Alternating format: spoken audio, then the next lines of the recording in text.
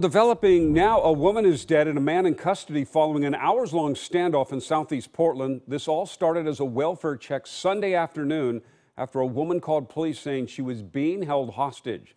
Liz Birch joins us now from the scene. What are you learning from police tonight, Liz?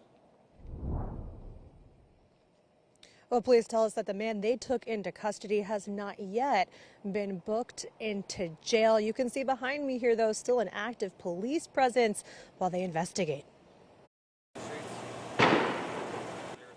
Police say despite a suspect firing 30 rounds at them from an apartment, they didn't shoot back.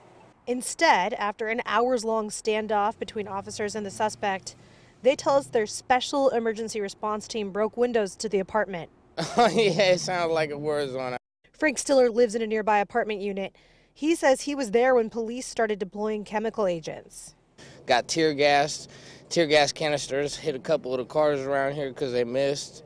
Man, it was crazy. Glass was getting broken out, gunshots. He tells me he heard the suspect shooting at police yesterday afternoon. I was working on my car yesterday when the guy started shooting originally. He started shot like 15 shots off.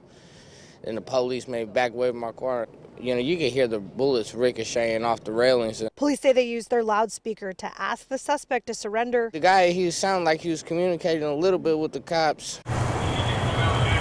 They say they then used a robot to get through the door. Once they finally got inside, they took the suspect into custody, and that's when they found the woman dead. Today, we saw police investigating wearing protective gear because of yesterday's tear gas. Jeff and Elizabeth, still so much I'm working to learn from police about this incident, including the identities of both the suspect and the woman who they found dead. So stick with us. We'll tell you anything new we learn at 6 o'clock and, of course, this evening as well. But for now, live in Southeast Portland, Liz Birch, KOIN 6 News. All right, we'll be checking back. Liz, thank you.